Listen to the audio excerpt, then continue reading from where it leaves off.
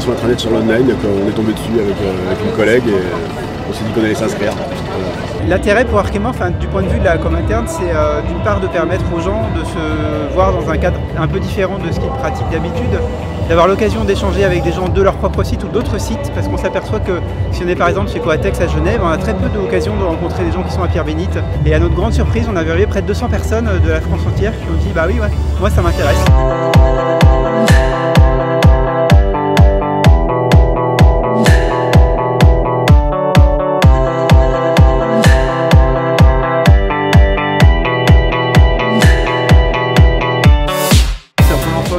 Que, je fais ça avec l'entreprise. Et euh, c'est super bien fait, bien organisé, on est bien accueillis, bien reçus. Euh. Ouais, je trouve que c'est sympa de, courir avec les mêmes couleurs, euh, de courir avec des collègues d'autres sites. c'est sympa.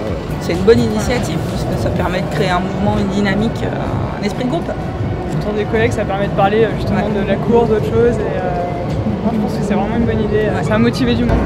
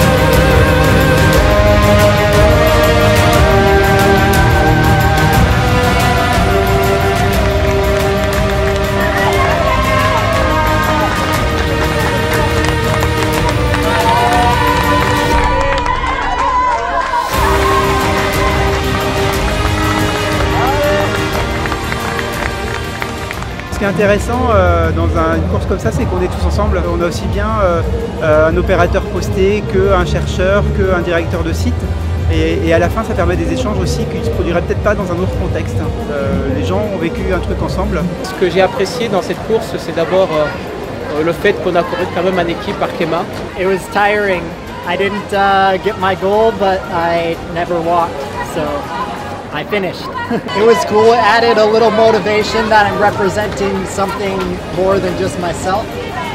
So uh, it, it provided more motivation.